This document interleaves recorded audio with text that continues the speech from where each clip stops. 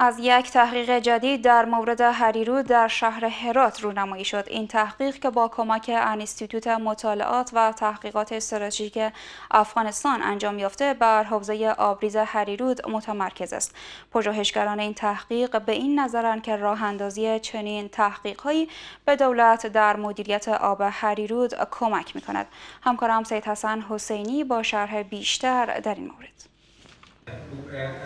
هریرود مروری بر حوزه آبریز عنوان تحقیقی است که در مورد دریای هریرود افغانستان امروز در شهر هرات رونمایی شد شاهین مردان مسئول انستیتوت تحقیقات و مطالعات استراتژیک افغانستان در هرات تاکید می کند که این تحقیق برای شناسایی بهتر رود هریرود به مردم و نهادهای فعال مدنی انجام یافته است. یکی از مباحث استراتژیک مباحث سیاست آبی افغانستان هست که باید نیاز به پژوهش داره نیاز به این که یک مرکز تحقیقاتی ارائه بکنه پژوهش ها اینها.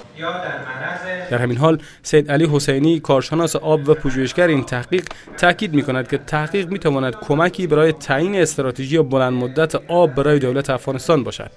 آقای حسینی میافزاید که تحقیقات مسائل آب در دیپلماسی افغانستان نقش پررنگ دارد. در افغانستان کمترین توسعه لحاظ صنعتی زراعتی و حتی مصرف آب آشامیدنی داریم و در کشورهای دیگر حوزه خیلی بیشتر از این مصرف می‌کنند در سوی دیگر محمد علی عثمانی وزیر پیشین انرژی و آب کشور به این نظر است که با درک شرایط حساس کنونی راه اندازی تحقیق‌های اینچنینی به مدیریت آبهای افغانستان کمک می‌کند. این تحقیق به جایی که نقش تنها داشته باشه در فهم و آگهی سیاستگزارای افغانستان نقش داره در این که جامعه مدنی آگاه بشه از وضعیت آبای افغانستان مراکز اکادمیک مراکز مطالعات استراتژیک مراکز تحقیقی هریرود غربی ترین آبریز کشور بین سه کشور افغانستان، ایران و ترکمنستان مشترک است.